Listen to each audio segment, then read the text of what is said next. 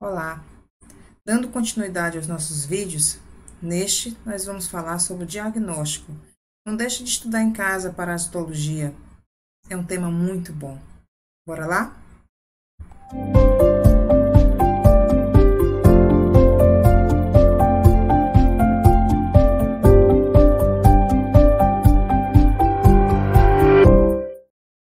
Eu sou a Carolina Mello, da UFC, e Agora estou dando continuidade aos aspectos dos diagnósticos das geomentose e enterobiose, ou dos nematóides intestinais humanos. Quando a gente pensa em diagnóstico, a gente pensa logo no microscópio. Né? Então, o diagnóstico desses nematóides é feito com a pesquisa de ovos nas fezes.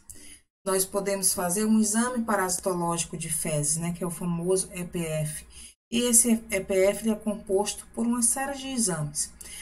A pesquisa desses nematóides é feita inicialmente com exame direto, onde eu pego uma pequena porção e procuro por esses ovos, tá? Mas também os mais famosos e mais indicados, né? Porque vai enriquecer o teu material. É o método de Lutz, o método de Faust, que vocês já devem ter ouvido falar lá nos protozoários intestinais, e o método Cato-Quatz, que é quantitativo, que ele é muito comum, né, muito, é mais direcionado, mais indicado para a esquistossomose. Então, o que, que seria o método de Lutz? O método de Lutz, ele é baseado na sedimentação, né, desses ovos é, ao misturá-los com água. Então, a gente vai observar um sedimento e procurar por esses ovos, tá? É interessante, caso vocês gostem né, do tema, vocês procurem como fazer no livro, né, no livro do rei, ele tem indicando como é que faz esse passo a passo, tá? O método de Faust já é um método de flutuação. Então, principalmente os ovos mais leves, né, os protozoários, que é tão indicado para os protozoários, então ele é utilizado para esse diagnóstico, tá? Então, você consegue visualizar na lâmina com mais facilidade. Aqui tem ilustrado o método de Lutz, que ele realmente é o mais utilizado para o diagnóstico dessas parasitoses. Então, se mistura uma porção de fezes com água, passa na gase, espera um tempo, em torno de uma hora, duas horas, e a gente pode examinar esse sedimento, tá? Coloca na lâmina e entre lâmina e lamínculo, leva ao microscópio e procura os ovos. Como é que eu vou saber quem são? Aí vocês vão ter que estudar um pouco da morfologia, tá? Mas o método de Lutz, o método de Hoffman, é o mais indicado para esse diagnóstico. Existe o, o, o que a gente sabe que ele tem toda uma dinâmica especial, né? Então, a pesquisa de ovos nas fezes a gente utiliza muito para ascaris, para ancilóstoma, né? Para enteróbio, para estrongiloides, pode também utilizar para ver as larvas, mas não é o mais utilizado, né? Então, é tricures, tá? Mas para enteróbios, o mais indicado é o método de garra, o método da fita adesiva. Então, pelo hábito delas oviporem na região perianal, você pega uma fita adesiva, tá? E recolhe, usa para coletar esse material na região perianal. Cola numa lâmina, né? E leva ao microscópio. E essa é a visão que se tem dessa lâmina. Né? A visualização de lâmina no microscópio dos ovos de enteróbios vermiculares pelo método de Graham. Tá? Então, vejam que é bem característico do enteróbios. Já para estrongilose, apesar da gente poder utilizar o Huffman, mas não é o mais indicado, tá? O método específico para estrongiloides, né?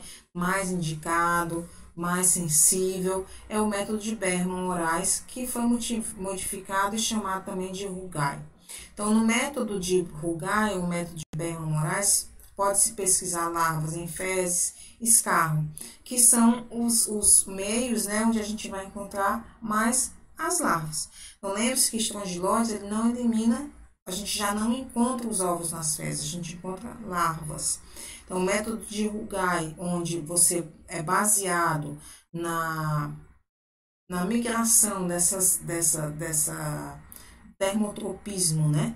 dessas larvas para uma água que está um pouco mais morna, assim como aqui no Berman, né, onde ela migra dessa, da, dessa região, ela fica em contato com a água e migra para o tubo de ensaio. Então, esse, baseado nesse, nesse, nesse princípio né, do termotropismo, né, da, da, da afinidade por uma, por, pela temperatura mais quente. Então, você consegue observar essas larvas aqui nesses dois, por esses dois métodos. Então, se eu pergunto numa prova qual é o método mais indicado para estrongiloides, você já sabe, Berman Moraes ou Bugai, tá? Ao examinar essas, essas larvas, eu tenho que saber diferenciar dos ancilostomídeos. Professora, eu posso ver ancilostomídeo no Berman Moraes? Pode, tá? Eu posso ver no Hoffman? Também pode. Só não é muito específico para esse. Então, eu tenho que saber diferenciar estrongiloides do ancilóstoma. Né? A gente vai aprender um pouco mais lá na morfologia. Mas, basicamente, o vestíbulo bucal, ó, que é aqui entre o início da larva e o início do, do esôfago dela, isso chama aqui esôfago, é vestíbulo bucal. Os ancilostomídeos é longo.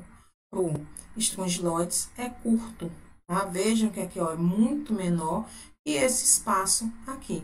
No entanto, os estrongiloides estercorados têm o primórdio genital nítido. E o que, que é isso?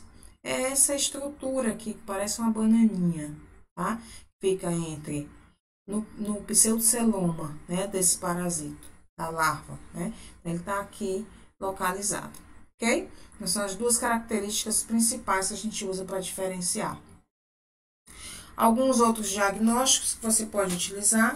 Em um hemograma, o que, que a gente procura? Uma eosinofilia. Mas a eosinofilia também pode indicar, além da presença dos parasitos, uma alergia, né? Por isso que também tem uma relação aí dos ascaris com asma, tá? dos nematóides com a asma, porque a gente vê a presença de IgE também, tá? Mas no hemograma não dá para ver IgE, né? Mas dá para ver eosinófilos.